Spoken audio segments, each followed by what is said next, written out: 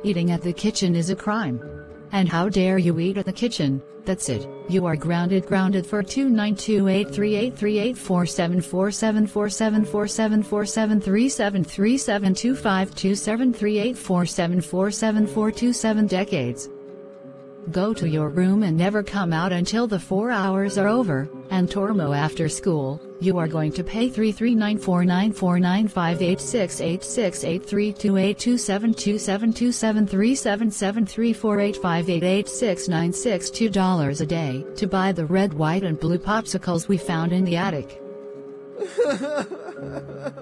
Now Scott, repeat after me, I will not eat at the kitchen.